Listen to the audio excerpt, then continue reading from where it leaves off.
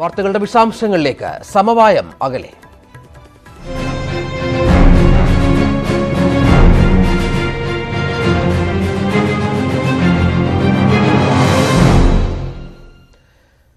ശബരിമല സ്ത്രീ പ്രവേശന വിഷയത്തിൽ പ്രതിഷേധിച്ചവർ എരുമേലിയിൽ ദേവസ്വം ബോർഡ് ഓഫീസും മരാമത്ത് ഓഫീസും താഴിട്ടുപൂട്ടി വഴിപാട് കൗണ്ടറും പ്രതിഷേധക്കാർ തകർത്തു.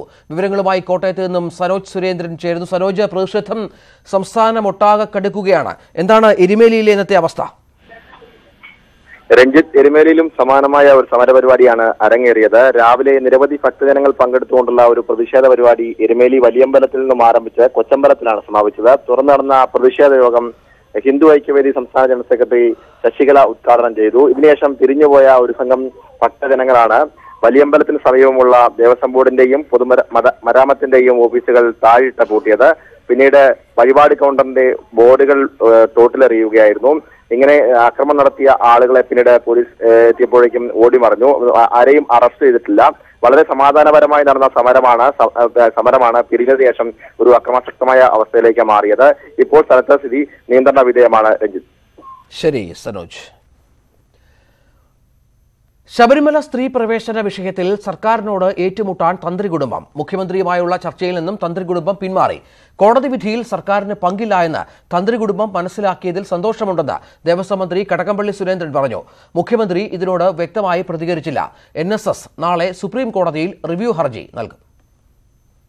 ശബരിമലയിലെ സ്ത്രീ പ്രവേശനത്തിൽ സർക്കാരിനെ കൂടുതൽ സമ്മർദ്ദത്തിലാക്കുന്നതാണ് തന്ത്രി കുടുംബത്തിന്റെ പിന്മാറ്റം. ചർച്ചയിലൂടെ സമവായമുണ്ടാക്കാനുള്ള സർക്കാരിന്റെ നീക്കം ഇതോടെ വൈകും. എൻ എസ് എസിന്റെ ഇടപെടലിനെ തുടർന്നാണ് തന്ത്രി കുടുംബം ചർച്ചകളിൽ നിന്നും പിന്മാറിയത് എന്നാണ് സൂചന. സുപ്രീം കോടതിയിലെ അപ്പീലിന് ശേഷം മാത്രം സർക്കാരുമായി ചർച്ച മതി എന്നാണ് തന്ത്രി കുടുംബത്തിന് എൻ എസ് എസിന്റെ ഉപദേശം. നാളെ തന്ത്രി കുടുംബവും പന്തളം രാജ കുടുംബവും എൻ എസ് എസും ചേർന്ന് റിവ്യൂ ഹർജി കൊടുക്കുന്നുണ്ട്. അപ്പോൾ അതിന്റെ ഒരു പരാമർശം അറിഞ്ഞിട്ട് ചർച്ചയ്ക്ക് പോകാനാണ് തീരുമാനം. ഇപ്പോൾ ആചാരത്തിന് അന്വേഷണത്തിന് ഇതിനായിട്ടുള്ള വിധിയല്ലേ വന്നേക്കുന്നത്? അത് പുനഃപരിശോധിക്കുക. തന്ത്രി കുടുംബത്തെ മുഖ്യമന്ത്രി ചർച്ചയ്ക്ക് വിളിച്ചോ എന്ന കാര്യം തനിക്ക് അറിയില്ല എന്നായിരുന്നു ദേവസ്വം മന്ത്രി കടകംപള്ളി സുരേന്ദ്രന്റെ പ്രതികരണം. വിശ്വാസികളുടെ പ്രതിഷേധം തെറ്റിദ്ധാരണ മൂലമാണെന്നും മന്ത്രി പറഞ്ഞു. മുഖ്യമന്ത്രി ചർച്ചയ്ക്ക് അവരെ വിളിച്ചതായിട്ടൊന്നും എനിക്കറിയില്ല പിന്മാറിയതായിട്ടും നിങ്ങൾ പറഞ്ഞിട്ടുള്ള അറിവാണുള്ളത്. സർക്കാരുമായിട്ട് ചർച്ച ചെയ്യേണ്ടതില്ലെന്ന് തന്ത്രി കുടുംബം തീരുമാനിച്ചിട്ടുണ്ടെങ്കിൽ അത് നല്ലൊരു കാര്യമാണ്. എന്നാൽ ഇതുമായി ബന്ധപ്പെട്ട ചോദ്യങ്ങളോട് മുഖ്യമന്ത്രി വ്യക്തമായി പ്രതികരിച്ചില്ല. റിവ്യൂ ഹർജി നൽകുന്നതിനെക്കുറിച്ച് ചോദിച്ചപ്പോൾ വരട്ടെ അപ്പോൾ നോക്കാം എന്നായിരുന്നു മറുപടി. സ്ത്രീ പ്രവേശനത്തിലുള്ള നടപടികൾ വേഗത്തിലാക്കി ദേവസ്വം ബോർഡ് സർക്കുലർ പുറപ്പെടുവിച്ചു. മണ്ഡല മകരവിളക്ക് മാസപൂജ എന്നിവയ്ക്കായി വനിതാ ജീവനക്കാരെ സ്പെഷ്യൽ ഡ്യൂട്ടിക്ക് നിയോഗിക്കാനാണ് ഡെപ്യൂട്ടി ദേവസ്വം കമ്മീഷണറുടെ നിർദ്ദേശം. News eighteen Thiruvananthapuram. ശബരിമല സ്ത്രീ പ്രവേശനത്തിനെതിരെ വിവിധ ഹൈന്ദവ സംഘടനകളുടെ നേതൃത്വത്തിലുള്ള പ്രതിഷേധം തുടരുന്നു. കോട്ടയം തിരുനക്കരയിലും എറണാകുളം തൃപ്പൂണിത്തുറയിലും നാമജപഘോഷയാത്ര എന്ന പേരിൽ സംഘടിപ്പിച്ച പ്രതിഷേധത്തിൽ നിരവധി പേർ പങ്കെടുത്തു. മന്ത്രി കടകംപള്ളി സുരേന്ദ്രന്റെ കഴക്കൂട്ടത്തെ ഓഫീസിലേക്ക് ബി ജെ പി മാർച്ച് നടത്തി. പത്തനംതിട്ടയിൽ ബി ജെ പി ആഹ്വാനം ചെയ്ത ഹർത്താൽ പുരോഗമിക്കുകയാണ്. വിവിധ ഹൈന്ദവ സംഘടനകളുടെ നേതൃത്വത്തിലാണ് പ്രതിഷേധ പരിപാടികൾ. കോട്ടയം തിരുനക്കരയിലും എറണാകുളം തൃപ്പൂണിത്തുറയിലും നാമജപ ഘോഷയാത്രകളിൽ സ്ത്രീകളടക്കം നൂറുകണക്കിന് പേർ പങ്കെടുത്തു. ഇതുകൊണ്ട് ഞങ്ങൾ അവസാനിപ്പിച്ചിട്ടില്ല. ഇനി ഞങ്ങൾ ഇതൊരു തുടക്കം മാത്രമാണ് പ്രതിഷേധത്തിന്റെ ഭാഗമായിട്ട് പോണേന്തിനാ ശബരിമലയിലേക്ക്? മറ്റുള്ള സ്ഥലങ്ങളിൽ പോട്ടെ. ആചാരങ്ങൾ അങ്ങനെ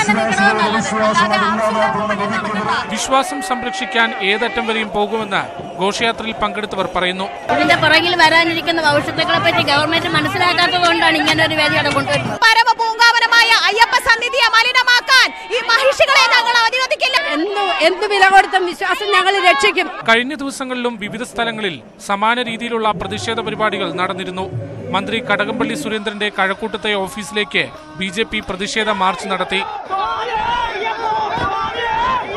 ദേവസ്വം മന്ത്രി ഇക്കാര്യത്തിൽ ചതി കാട്ടിയിരിക്കുകയാണ് അതേപോലെ തന്നെ ദേവസ്വം ബോർഡിന്റെ പ്രസിഡന്റ് അദ്ദേഹം വിശ്വാസികളെ വഞ്ചിച്ചിരിക്കുകയാണ്. ദേവസ്വം മന്ത്രിയും അതുപോലെ തന്നെ ദേവസ്വം ബോർഡിന്റെ പ്രസിഡന്റും രാജിവെക്കണമെന്ന് പത്തനംതിട്ട ജില്ലയിൽ ബി ജെ പി ആഹ്വാനം ചെയ്ത ഹർത്താൽ തുടരുകയാണ്. ഇന്നലെ യുവമോർച്ച മാർച്ചിന് നേരെ പോലീസ് അതിക്രമമുണ്ടായി എന്നാരോപിച്ചും ദേവസ്വം ബോർഡിന്റെ നിലപാടിലും പ്രതിഷേധിച്ചാണ് hartal. K S R T സിയും സ്വകാര്യ ബസ്സുകളും സർവീസ് നടത്തിയില്ല. പഞ്ചായത്ത് കേന്ദ്രങ്ങളിലും ജില്ലാ കേന്ദ്രങ്ങളിലും ബി ജെ പി പ്രതിഷേധ പ്രകടനം നടത്തി. വിവിധ ബ്യൂറോകൾക്കൊപ്പം ന്യൂസ് ഡെസ്ക് ന്യൂസ് എയ്റ്റീൻ. ജാഗ്രത തുടരുന്നു.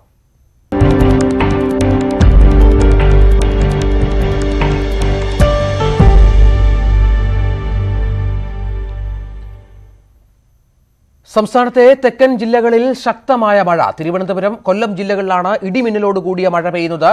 ന്യൂനമർദ്ദത്തെ തുടർന്ന് അഞ്ചു ജില്ലകളിൽ കനത്ത മഴയ്ക്കും മറ്റു ജില്ലകളിൽ ഒറ്റപ്പെട്ട ശക്തമായ മഴയ്ക്കും സാധ്യതയുണ്ടെന്ന് കാലാവസ്ഥാ നിരീക്ഷണ കേന്ദ്രം അറിയിച്ചു. അതേസമയം സംസ്ഥാന തീരത്ത് നിന്ന് ചുഴലിക്കാറ്റ് ഭീതി ഒഴിയുന്നതായാണ് റിപ്പോർട്ട്. മലയോര മേഖലകളിലടക്കം തിരുവനന്തപുരം കൊല്ലം ജില്ലകളിലാണ് ഇടിയോടുകൂടിയ ശക്തമായ മഴ ലഭിച്ചത്. രാവിലെ തുടങ്ങിയ മഴ പലയിടത്തും ഇപ്പോഴും തുടരുകയാണ്. അറബിക്കടലിലെ ന്യൂനമർദ്ദമാണ് മഴയ്ക്ക് കാരണമെന്ന് കാലാവസ്ഥാ നിരീക്ഷണ കേന്ദ്രം അറിയിച്ചു. ചുഴലിക്കാറ്റ് വടക്കു പടിഞ്ഞാറൻ ദിശയിലേക്ക് അകന്നുപോയെങ്കിലും മഴ രണ്ട് ദിവസം കൂടി തുടരുമെന്നാണ് വിലയിരുത്തൽ. പത്തനംതിട്ട ഇടുക്കി പാലക്കാട് മലപ്പുറം വയനാട് ജില്ലകളിലാണ് ഒറ്റപ്പെട്ട ശക്തമായ മഴയ്ക്ക് സാധ്യത. ഈ ജില്ലകളിൽ ഓറഞ്ച് അലർട്ട് പ്രഖ്യാപിച്ചിട്ടുണ്ട്. തിരുവനന്തപുരം എറണാകുളം കോഴിക്കോട് എന്നിവയടക്കം ഒൻപത് ജില്ലകളിൽ ഒറ്റപ്പെട്ട മഴയ്ക്ക് സാധ്യതയുള്ളതിനാൽ ഈ ജില്ലകളിൽ യെല്ലോ അലർട്ട് തുടരും. എന്നാൽ അപകടകരമായ രീതിയിൽ അതിതീവ്ര മഴയ്ക്ക് സാധ്യതയില്ലാത്തതിനാൽ ഒരു ജില്ലയിലും റെഡ് അലർട്ട് പ്രഖ്യാപിച്ചിട്ടില്ല. ലക്ഷദ്വീപിൽ നിന്ന് വടക്ക് പടിഞ്ഞാറായി ആയിരം കിലോമീറ്റർ അകലേക്ക് ന്യൂനമർദ്ദം നീങ്ങിയിട്ടുണ്ട്. കടലിൽ പോകുന്നവർക്കുള്ള ജാഗ്രതാ നിർദ്ദേശം തുടരും. അടുത്ത വ്യാഴാഴ്ച വരെ കടലിൽ പോകുന്നത് മത്സ്യത്തൊഴിലാളികൾ ഒഴിവാക്കണമെന്നാണ് നിർദ്ദേശം.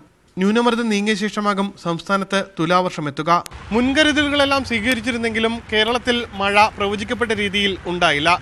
രണ്ടു ദിവസം കൂടി കഴിഞ്ഞാൽ മഴ ഭീതി പൂർണമായി ഒഴിയുമെന്നാണ് കാലാവസ്ഥാ നിരീക്ഷണ കേന്ദ്രത്തിന്റെ കണക്കുകൂട്ടൽ. Umesh Balakrishnan news eighteen Thiruvananthapuram. മഴ ഭീഷണിയെ തുടർന്ന് തുറന്ന ഇടുക്കി ചെറുതോണി അണക്കെട്ട് ഇന്ന് വൈകിട്ടോടെ അടയ്ക്കും. മഴ ശക്തമല്ലാത്തതിനാൽ മറ്റ് ഡാമുകളുടെ ഷട്ടറുകളും താഴ്ത്താനാണ് കെ എസ് സി ബിയുടെ തീരുമാനം. ഉരുൾപൊട്ടലിനെ തുടർന്ന് കുവളിയിൽ പതിനഞ്ച് കുടുംബങ്ങളെ ദുരിതാശ്വാസ ക്യാമ്പിലേക്ക് മാറ്റി. വൃഷ്ടിപ്രദേശങ്ങളിൽ മഴ തുടരുന്നതിനാൽ മുല്ലപ്പെരിയാർ അണക്കെട്ടിലെ ജലനിരപ്പ് നൂറ്റി മുപ്പത്തിമൂന്ന് അടിയിലെത്തി. സെക്കൻഡിൽ മൂവായിരം ഘനയടി ജലമാണ് അണക്കെട്ടിലേക്ക് ഒഴുകിയെത്തുന്നത്. തമിഴ്നാട് കൊണ്ടുപോകുന്നത് ആയിരത്തി എണ്ണൂറ്റി അൻപത് ഘനയടിയും ഇന്നലെ രാവിലെ ഷട്ടർ തുറന്ന ഇടുക്കിയിൽ അരയടി വെള്ളം കുറഞ്ഞു. അണക്കെട്ടിലേക്ക് ഒഴുകിയെത്തുന്നത് സെക്കൻഡിൽ നാൽപ്പത്തഞ്ച് ക്യുമെക്സ് വെള്ളമാണ്. വൈദ്യുതി ഉൽപ്പാദിപ്പിച്ചും ഷട്ടറിലൂടെയും നൂറ് ക്യുമെക്സ് വെള്ളം പുറത്തേക്ക് തള്ളുന്നുമുണ്ട്. ഇടുക്കി അടക്കം തുറന്ന ഡാമുകൾ ഇന്ന് രാത്രിയോടെ അടയ്ക്കാനാണ് കെ തീരുമാനം. ഉരുൾപൊട്ടലിനെ തുടർന്ന് കുമളിയിൽ പതിനഞ്ച് കുടുംബങ്ങളെ ദുരിതാശ്വാസ ക്യാമ്പിലേക്ക് മാറ്റി.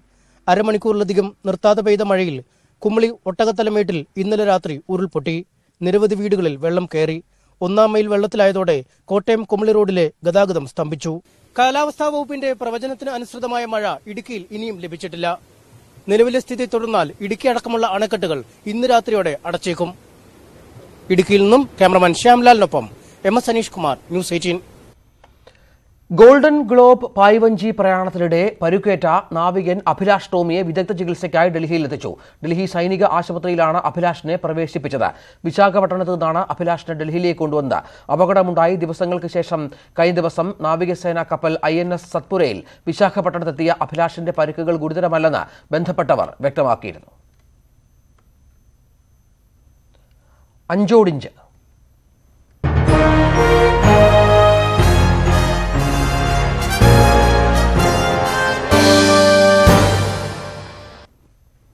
തെരഞ്ഞെടുപ്പ് പ്രഖ്യാപിച്ച മൂന്ന് സംസ്ഥാനങ്ങളിൽ കോൺഗ്രസ് അധികാരത്തിൽ വരുമെന്ന അഭിപ്രായ സർവേ രാജസ്ഥാനിൽ മൂന്നിൽ രണ്ട് ഭൂരിപക്ഷത്തോടെ അധികാരത്തിൽ എത്തുമ്പോൾ മധ്യപ്രദേശിലും രാജസ്ഥാനിലും കോൺഗ്രസ് കേവല ഭൂരിപക്ഷം നേടുമെന്നാണ് C voter A B P news പ്രവചനം.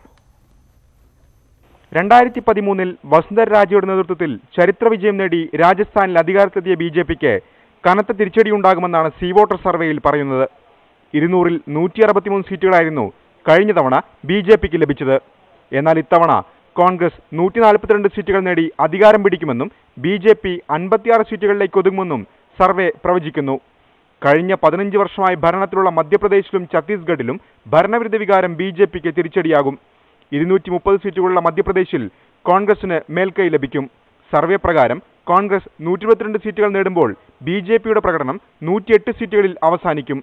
തൊണ്ണൂറ് സീറ്റുകളുള്ള ഛത്തീസ്ഗഡിൽ നാൽപ്പത്തിയേഴ് സീറ്റുകൾ നേടി കോൺഗ്രസ് അധികാരം പിടിക്കും. ബി ജെ പി നാൽപ്പത്തിയൊന്ന് സീറ്റുകൾ നേടുമ്പോൾ ബി എസ് പിയും അജിത് ജോഗിയുടെ പാർട്ടിയായ ജനതാ കോൺഗ്രസ് ഛത്തീസ്ഗഡും നിർണായകമായേക്കുമെന്ന സൂചനയും അഭിപ്രായ സർവേ നൽകുന്നു.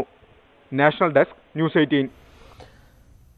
C P M കേന്ദ്ര കമ്മിറ്റി യോഗം ഡൽഹിയിൽ തുടരുന്നു ലോക്സഭാ തെരഞ്ഞെടുപ്പിനുള്ള മുന്നൊരുക്കങ്ങൾ യോഗം ചർച്ച ചെയ്യും. അഞ്ച് സംസ്ഥാനങ്ങളിലേക്ക് നിയമസഭാ തെരഞ്ഞെടുപ്പ് പ്രഖ്യാപിച്ച സാഹചര്യത്തിൽ ഈ സംസ്ഥാനങ്ങളിലെ സഖ്യസാധ്യതകളും ചർച്ചയാകും. മധ്യപ്രദേശ് രാജസ്ഥാൻ എന്നിവിടങ്ങളിൽ കോൺഗ്രസുമായി സഖ്യമോ സഹകരണമോ വേണ്ടെന്നാണ് കേന്ദ്ര കമ്മിറ്റി തീരുമാനം. ഇവിടെ കോൺഗ്രസ് ബി ജെ പി ഇതര പാർട്ടികളുമായി സഹകരിക്കാനാണ് തീരുമാനം. തെലങ്കാനയിൽ ഇടത് ബഹുജൻ ഇടത് ബഹുജൻ സഖ്യവുമായി സഹകരിക്കാനാണ് കേന്ദ്ര കമ്മിറ്റി തീരുമാനിച്ചത്. ശബരിമല വിഷയത്തിൽ സംസ്ഥാന കമ്മിറ്റി എടുത്ത നിലപാടിന് കേന്ദ്ര കമ്മിറ്റി അഭിനന്ദിച്ചു. ബസ് സർവീസ് നിർത്തിവെച്ചുള്ള സ്വകാര്യ ബസ് ഉടമകളുടെ സമര പ്രഖ്യാപനം എടുത്തുയാട്ടമെന്ന് ഗതാഗത മന്ത്രി എ കെ ശശീന്ദ്രൻ. ഇന്ധനവില വർധനയെ തുടർന്ന് എല്ലാ മേഖലയിലും പ്രതിസന്ധിയുണ്ട്. കെ എസ് ആർ ടി സിയും നിലവിൽ പ്രതിസന്ധിയിലാണ്. ബസ് ചാർജ് കൂട്ടുന്ന കാര്യം പരിഗണനയിൽ ഇല്ലെന്നും മന്ത്രി കോഴിക്കോട് പറഞ്ഞു. ഈ മേഖലയിലെ ബന്ധപ്പെട്ടവർ നേരിടുന്ന പ്രതിസന്ധിയും വ്യവസായ മേഖല നേരിടുന്ന പ്രതിസന്ധിയും മനസ്സിലാക്കിക്കൊണ്ട് തന്നെ സർക്കാരിന്റെ പരിമിതിയിൽ നിന്നുകൊണ്ട് ചെയ്യാവുന്ന കാര്യങ്ങളെല്ലാം ചെയ്തുകൊണ്ടിരിക്കുന്നുണ്ട്. അതിനിടയിൽ ഒരു വിഭാഗീയ തലത്തിൽ ഒരു സമരം പ്രഖ്യാപിച്ചത് ഉചിതമായോ എന്ന് അവരാണ് പരിശോധിക്കേണ്ടത്. രാജ്യത്ത് പെട്രോൾ ഡീസൽ വില വീണ്ടും വർദ്ധിച്ചു. പെട്രോളിന് പതിനാല് പൈസയും ഡീസലിന് ഇരുപത്തിയൊൻപത് പൈസയുമാണ് കൂട്ടിയത്. പുതുക്കിയ നിരക്ക് പ്രകാരം തിരുവനന്തപുരത്ത് എൺപത്തിയഞ്ച് രൂപ ഇരുപത്തിയഞ്ച് പൈസയാണ് പെട്രോൾ വില. ഡീസലിന് എഴുപത്തിയെട്ട് രൂപ എൺപത്തിയൊന്ന് പൈസയാണ് ഒരു ലിറ്ററിന്റെ വില. രൂപയുടെ വിനിമയ മൂല്യം കഴിഞ്ഞ ദിവസം റെക്കോർഡുകൾ ഭേദിച്ച് എഴുപത്തിനാലിൽ എത്തിയിരുന്നു. ഇതിന് പിന്നാലെയാണ് വില വർദ്ധിപ്പിച്ച് എണ്ണ കമ്പനികൾ രംഗത്തെത്തിയിരിക്കുന്നത്. മലപ്പുറത്ത് രണ്ട് ദിവസത്തിനിടെ മൂന്ന് ബാലവിവാഹങ്ങൾക്ക് നീക്കം. ചൈൽഡ് ലൈനിന്റെ ഇടപെടലിനെ തുടർന്ന് വിവാഹങ്ങൾ തടഞ്ഞു. ഇതിൽ രണ്ട് വിവാഹങ്ങൾ ഇതര സംസ്ഥാനത്തു നിന്നും മലപ്പുറത്ത് സ്ഥിരതാമസമാക്കിയവരുടെ കുട്ടികളുടേതാണ്. അഞ്ചു മാസം മുമ്പാണ് കൊൽക്കത്തയിൽ നിന്നും കാടാമ്പുഴയിൽ സ്ഥിരതാമസമാക്കിയ പെൺകുട്ടിയുടെ നിക്കാഹ് പൂർത്തിയായത്. ആറാം ക്ലാസ്സുകാരിയായ പെൺകുട്ടിയുടെ പ്രായം പന്ത്രണ്ട് വയസ്സ്. ചൈൽഡ് ലൈൻ നടത്തിയ അന്വേഷണത്തിൽ കുട്ടിയെ കണ്ടെത്തി റെസ്ക്യൂ ഹോമിലേക്ക് മാറ്റി. രക്ഷിതാക്കളോട് തിങ്കളാഴ്ച ഹാജരാകാൻ സി ഡബ്ല്യു സി ആവശ്യപ്പെട്ടിട്ടുണ്ട്. ഈ ഉമ്മയ്ക്കൊന്നും ഈ കല്യാണത്തെക്കുറിച്ച് ഇഷ്ടമില്ല. അപ്പോൾ ഉപ്പയാണ് ഇതിന് നേതൃത്വം നൽകി. തമിഴ്നാട്ടിൽ നിന്നും മങ്കട കടന്നമണയിൽ സ്ഥിരതാമസമാക്കിയ കുടുംബത്തിലെ വരന്റെ പ്രായം പതിനേഴ്. വധു തമിഴ്നാട് സ്വദേശിയാണ്. കല്യാണക്കുറിയടിച്ച് ആളുകളെ ക്ഷണിച്ച് പന്തലൊരുക്കിയായിരുന്നു വിവാഹത്തിന് നീക്കം. അവിടെ എത്തി ചെന്ന സമയത്ത് ഈ ടീമിനെ എന്ത് ചെയ്തു? വാഹനമായിട്ട് വന്ന തിരിച്ചയച്ചു. കരിപ്പൂർ കൂട്ടലുങ്ങൽ പ്രദേശത്തായിരുന്നു പതിനാറുകാരിയായ വിദ്യാർത്ഥിനിയെ വിവാഹം കഴിപ്പിക്കാനുള്ള നീക്കം പോലീസ് സഹായത്തോടെ തടഞ്ഞത്. മലപ്പുറത്ത് സ്കൂൾ ബെഞ്ചിലെ ഭാര്യമാർ അവസാനിക്കുന്നില്ല. ശിക്ഷാ നടപടികളെക്കുറിച്ചുള്ള അവബോധവും ബോധവൽക്കരണവും കൂടുതൽ ശക്തിപ്പെടുത്തേണ്ടിയിരിക്കുന്നു. Surjith Ayyappath news eighteen Malappuram. മുഖ്യമന്ത്രിയുടെ ദുരിതാശ്വാസ നിധിയിലേക്ക് സി പി എം ലോക്കൽ കമ്മിറ്റികൾ പിരിച്ചെടുത്ത തുക പാർട്ടി ഫണ്ടിലേക്ക് വകമാറ്റിയതായി ആരോപണം. ബക്കറ്റ് പിരിവിലൂടെ സംസ്ഥാന വ്യാപകമായി ലഭിച്ച മുപ്പത് കോടിയിൽ ആറ് കോടിയോളം പാർട്ടി ഫണ്ടിനു വേണ്ടി തട്ടിച്ചതായി അനിൽ അക്കര എം ആരോപിച്ചു. ആരോപണം സി നിഷേധിച്ചു. സി പി എം ലോക്കൽ കമ്മിറ്റികൾ ബക്കറ്റ് പിരിവിലൂടെ സംഭരിച്ച തുകയിൽ ഇരുപത്തിയഞ്ച് ശതമാനം എടുത്ത ശേഷം ബാക്കി തുകയാണ് ദുരിതാശ്വാസ നിധിയിലേക്ക് നൽകിയതെന്നാണ് അനിലക്കരെ എം എൽ എയുടെ ആരോപണം. ഉദാഹരണമായി അനിലക്കരെ ചൂണ്ടിക്കാട്ടുന്നത് C P M Adat local committee സ്ഥാപിച്ച ഫ്ലക്സ് ബോർഡിലെ കണക്കുകളാണ്. തൃശൂർ അഡാട്ട് ലോക്കൽ കമ്മിറ്റി പിരിച്ചെടുത്തത് രണ്ട് ലക്ഷത്തി ഇരുപതിനായിരത്തി ഒരുന്നൂറ് രൂപയാണ്. ഇതിലേക്ക് ആമ്പലങ്കാവ് വെസ്റ്റ് ബ്രാഞ്ച് പതിനൊന്നായിരത്തി എണ്ണൂറ് രൂപ പിരിച്ചെടുത്തു. എന്നാൽ ഫ്ലെക്സിൽ രേഖപ്പെടുത്തിയിരിക്കുന്നത് ഒമ്പതിനായിരം രൂപ മാത്രം. ബാക്കി പണം പാർട്ടി ഫണ്ടിലേക്ക് എടുത്തെന്നാണ് ആക്ഷേപം. ഏതാണ്ട് അമ്പത്തി എണ്ണായിരം രൂപ ആ ലോക്കൽ കമ്മിറ്റി മാത്രം പിന്നെ എടുത്ത് എടുത്തിട്ടുണ്ട്. ബാക്കി സംഖ്യ മാത്രമാണ് അടച്ചിട്ടുള്ളത്. ഫണ്ട് പിരിവ് നടത്തി പണം പോക്കറ്റിലിടുന്നത് സി പി എമ്മിന്റെ പണിയല്ലെന്ന് ജില്ലാ സെക്രട്ടറി എം എം വർഗീസ് പ്രതികരിച്ചു. ഈ പോക്കറ്റിലിട്ട് ചാപ്പാട് അടിക്കുന്ന ജോലി ഇവരുടെ ജോലിയാണ് അതാണ് എൽ ഡി എഫ് അല്ലെങ്കിൽ സി പി എം എന്ന് ധരിച്ചിട്ടാണ് ഇങ്ങനെ പറയുന്നത്. കീഴ്ഘടകങ്ങളിൽ നിന്ന് പിരിച്ചെടുത്ത തുക സംസ്ഥാന കമ്മിറ്റിക്ക് കൈമാറാനും സംസ്ഥാന കമ്മിറ്റി മുഖ്യമന്ത്രിയുടെ ദുരിതാശ്വാസ നിധിയിലേക്ക് നൽകാനുമായിരുന്നു സി പി എം നേരത്തെ എടുത്ത തീരുമാനം. എന്നാൽ ദുരിതാശ്വാസ നിധി ഉള്ളപ്പോൾ മറ്റു പിരിവുകൾ വേണ്ടെന്ന് മുഖ്യമന്ത്രി അറിയിച്ചതിനെ തുടർന്ന് ലോക്കൽ കമ്മിറ്റികൾ പിരിച്ചെടുത്ത തുക നേരിട്ട് ദുരിതാശ്വാസ നിധിയിലേക്ക് നൽകുകയായിരുന്നു. News eighteen Thrissur. വ്യവസായ വകുപ്പിൽ വീണ്ടും ഇഷ്ടക്കാരെ തിരികെ കയറ്റാൻ നീക്കമെന്ന ആക്ഷേപം. വ്യവസായ വികസന കോർപ്പറേഷനിൽ പബ്ലിക് റിലേഷൻസ് ഓഫീസർ തസ്തിക നിയമനമാണ് പരാതിക്ക് വഴിവെച്ചിരിക്കുന്നത്. പബ്ലിക് റിലേഷൻസ് ഓഫീസർ ഈ തസ്തികയ്ക്ക് പി എസ് സി നിഷ്കർഷിക്കുന്ന യോഗ്യത ജേർണലിസത്തിൽ ബിരുദാനന്തര ബിരുദമോ പി ജി ഡിപ്ലോമയോ ഒപ്പം മാധ്യമരംഗത്തെ പ്രവൃത്തി പരിചയം. എന്നാൽ ഒക്ടോബർ നാലിന് കേരള സംസ്ഥാന വ്യവസായ വികസന കോർപ്പറേഷന്റെ വിജ്ഞാപനത്തിൽ ഈ തസ്തികയ്ക്ക് വേണ്ട യോഗ്യതകൾ ഇങ്ങനെ. ഫസ്റ്റ് ക്ലാസ് ബിരുദം സെക്രട്ടേറിയറ്റിൽ ധനകാര്യ വകുപ്പിലോ പൊതുസമ്പർക്ക വകുപ്പിലോ അണ്ടർ സെക്രട്ടറി റാങ്കിൽ കുറയാത്ത തസ്തികയിൽ ഇരുപത് വർഷത്തെ പ്രവൃത്തി പരിചയം. ഒക്ടോബർ ഒന്നിന് അൻപത്തിയെട്ട് വയസ്സ് കവിയരുത്. വിരമിച്ചയാളെയോ ഉടൻ വിരമിക്കാനിരിക്കുന്ന മറ്റാരെയോ തിരികെ കയറ്റാനാണ് നീക്കമെന്ന യോഗ്യത നിർണയത്തിൽ തന്നെ വ്യക്തം. അപേക്ഷകരുടെ എണ്ണം കൂടാതിരിക്കാനും അതുവഴി മറ്റു പരാതികൾ ഒഴിവാക്കാനുമാണ് ഈ തന്ത്രം. വിരമിച്ചവർക്ക് നിയമനം നൽകുന്നതിനെതിരെ യുവജന സംഘടനകളുടെ പ്രതിഷേധം വകവയ്ക്കാതെയാണ് തീരുമാനം. ബന്ധു നിയമനത്തിന്റെ പേരിൽ ഇ പി ജയരാജന് രാജിവെക്കേണ്ടി വന്ന വ്യവസായ വകുപ്പിൽ തന്നെയാണ് പിൻവാതിൽ നിയമനത്തിന് വഴിയൊരുങ്ങുന്നത്. നിയമന നീക്കം വ്യവസായ മന്ത്രിയുടെ അറിവോടെയാണോ എന്ന് വ്യക്തമാക്കണമെന്ന് V T Balram M L A ആവശ്യപ്പെട്ടു. ഈ കാര്യം അദ്ദേഹത്തിന്റെ അറിവോട് കൂടിയാണോ അല്ലയോ എന്നുള്ളത് ഇനിയും വെളിപ്പെടേണ്ടതായിട്ടുണ്ട്. വ്യവസായ വികസന കോർപ്പറേഷൻ ഉടൻ നടപ്പാക്കാൻ ലക്ഷ്യമിടുന്ന പുതിയ പദ്ധതിയുടെ കൺസൾട്ടൻസിക്ക് വേണ്ടിയാണ് നിയമന നീക്കമെന്നും ആരോപണമുണ്ട്. News eighteen Thiruvananthapuram. ഗുരുതരമായ കൃത്യവിലോപം നടത്തിയ എക്സൈസ് മന്ത്രിയെ മന്ത്രിയെ പുറത്താക്കാനുള്ള ആർജവം സി പി എം കേന്ദ്ര നേതൃത്വം കാണിക്കണമെന്ന് കോൺഗ്രസ് നേതാവ് വി എം സുധീരൻ. പ്രാഥമിക പരിശോധന പോലും നടത്താതെ കടലാസ് കമ്പനികൾ കമ്പനികൾക്ക് ബ്രൂവറി ഡിസ്റ്റിലറി അനുമതി നൽകിയ മന്ത്രി ഗുരുതരമായ കൃത്യവിലോപമാണ് നടത്തിയിട്ടുള്ളത്. രാജിവെച്ച അന്വേഷണം നേരിടുന്നതിന് വൈമുഖ്യം പ്രകടിപ്പിക്കുന്ന മന്ത്രിയെ പുറത്താക്കിയില്ലെങ്കിൽ നഷ്ടപ്പെടുന്നത് സീതാറാം യെച്ചൂരിയുടെയും പ്രകാശ് കാരാട്ടിന്റെയും അഴിമതി വിരുദ്ധ പ്രഖ്യാപനങ്ങളുടെ വിശ്വാസ്യതയാണെന്നും സുധീരൻ വാർത്താക്കുറിപ്പിൽ പറഞ്ഞു. തൃശൂർ മതിലകത്ത് വീട് കുത്തി തുറന്ന് നൂറ്റി അൻപത് പവനും ഒരു ലക്ഷം രൂപയും കവർന്നു. മംഗലപ്പള്ളി അബ്ദുൾ അസീസിന്റെ വീട്ടിലാണ് കവർച്ച നടന്നത്. മകളുടെ വിവാഹാവശ്യത്തിന് കരുതി വച്ച സ്വർണമാണ് മോഷണം പോയത്. വീടിന്റെ പിൻവാതിലിലൂടെയാണ് മോഷ്ടാവ് അകത്ത് പ്രവേശിച്ചത്. വീട്ടിൽ സ്ഥാപിച്ചിരുന്ന സി നശിപ്പിക്കപ്പെട്ട നിലയിലാണ്. കോഴിക്കോട് കൊടുവള്ളി പലോറാമാലയിലെ അനധികൃത നിർമ്മാണ പ്രവർത്തനം താഴ്വാരത്തെ ജനങ്ങളുടെ കുടിവെള്ളം മുട്ടിക്കുമെന്ന ആശങ്ക. പല മലമുകളിലെ പൈലിംഗ് ജലസ്രോതസ്സുകൾ മല്ലമാക്കുന്നു പ്രതിഷേധിക്കുന്ന പ്രദേശവാസികളെ കെട്ടിട ഉടമയും സംഘവും ഭീഷണിപ്പെടുത്തുന്നതായും ആരോപണമുണ്ട്.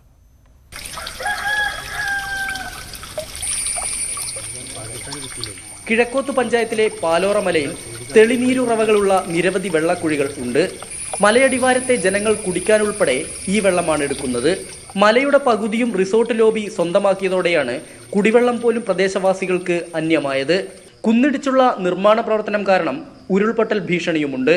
പ്രതിഷേധിക്കുന്നവരെ ഭീഷണിപ്പെടുത്തുന്നതായാണ് ആരോപണം. ഇതിന്റെ കീഴിൽ ആരൊക്കെ പ്രവർത്തിക്കണോ ആരോ ആര് മുന്നോട്ട് മുന്നോട്ട് നേരിടുന്നു എന്നുള്ള ശക്തി തന്നെ. അത് ഇടവിട്ട് മഴ തുടരുന്നതോടെ കരിഞ്ചോല ദുരന്തം ആവർത്തിക്കുമോ എന്ന ഭീതിയിലാണ് മലയടിവാരത്തുള്ളവർ. നമുക്ക് ഇവിടെ നിൽക്കാൻ പേടിയാണ്. നമുക്ക് മലയിടിഞ്ഞ് വീണോടുള്ളത് പേടിയിലാണ് ഞങ്ങൾ നിൽക്കുന്നത്. രാഷ്ട്രീയ വേർതിരിവില്ലാതെ ജനങ്ങൾ ഒറ്റക്കെട്ടായി സമരരംഗത്ത് സജീവമാണ്. S Vinesh Kumar news eighteen Kozhikode. കുണ്ടും കുഴികളും നിറഞ്ഞ് ഗതാഗത യോഗ്യമല്ലാതായി കൊല്ലം ചെങ്കോട്ട ദേശീയപാത. റോഡ് തകർന്നിട്ട് മാസങ്ങളായെങ്കിലും അധികൃതർ ഒരു നടപടിയും സ്വീകരിച്ചിട്ടില്ല. കൊല്ലം ചെങ്കോട്ട ദേശീയപാതയുടെ ഇന്നത്തെ അവസ്ഥയാണിത്.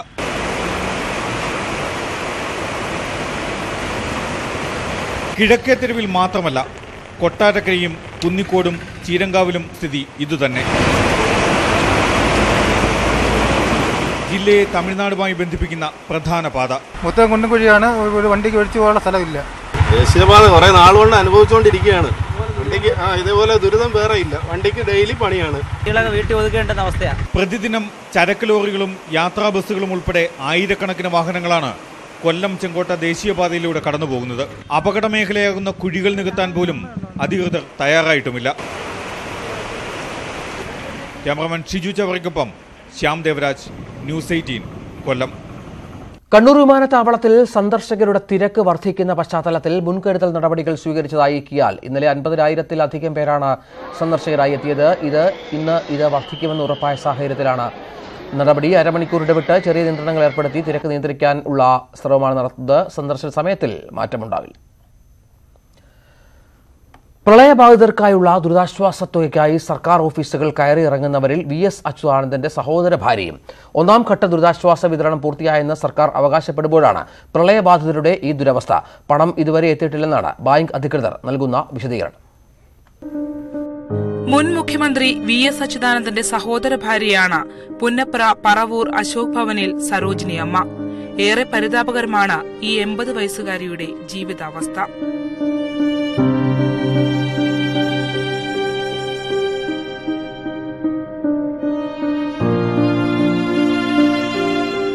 ഇപ്പോൾ ഒപ്പമുള്ളത് ഭിന്നശേഷിക്കാരനായ മകൻ മാത്രം.